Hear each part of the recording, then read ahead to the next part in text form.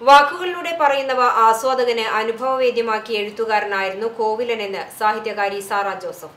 സമസ്ത കേരള സാഹിത്യ പരിഷത്ത് ഗുരുവായൂർ ശ്രീകൃഷ്ണ കോളേജ് മലയാള വിഭാഗത്തിന്റെ സഹകരണത്തോടെ സംഘടിപ്പിച്ച കോവിലൻ ജന്മശതാബ്ദി ചടങ്ങിന്റെ സമാപന സമ്മേളനം ഉദ്ഘാടനം ചെയ്ത് സംസാരിക്കുകയായിരുന്നു അവർ.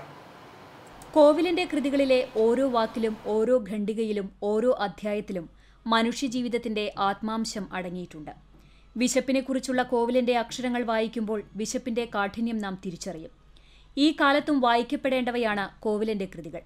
വായിക്കാൻ ഇത്തിരി പ്രയാസപ്പെട്ടാലും മികച്ച വായനാനുഭവമാണ് അവ സമ്മാനിക്കുന്നതെന്നും സാറ ജോസഫ് കൂട്ടിച്ചേർത്തു. ഓരോ പാരഗ്രാഫിലും ഓരോ അധ്യായത്തിലും എന്ന്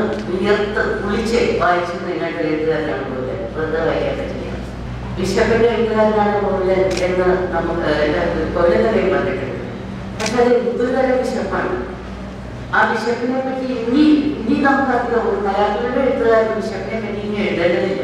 പക്ഷെ കോവിലെ വിശപ്പ് എഴുതിയപ്പോൾ എന്റെ വയറ് നമ്മൾ വായിക്കുന്ന ഓരോരുത്തരുടെയും വയറ് ഈ വേദന കൊണ്ട് വരഞ്ഞു കീറുന്ന തരത്തിലുള്ളൊരു അനുഭവത്തിൽ കൂടെയാണ് നമ്മൾ കടന്നു ആ കാലഘട്ടത്തിൽ വിശപ്പ് ഏറ്റവും പ്രധാനപ്പെട്ട ഒരു വിഷയം തന്നെയായിരുന്നു എട്ട് ദിവസത്തേക്കായാലും ആലുണ്ടായാലും അതുപോലെ അസുരക്കായാലും വായിച്ചാൽ ബിഷപ്പിന്റെ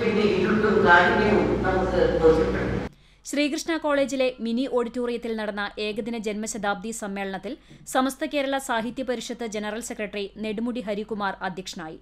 കോളേജ് മലയാള വിഭാഗം മേധാവി doctor A M Reena Sahithya Parishad treasurer P U Ameer മലയാള വിഭാഗം അധ്യാപകരായ doctor Biju Balakrishnan doctor Abhilash doctor Maya S Nair എന്നിവർ സംസാരിച്ചു.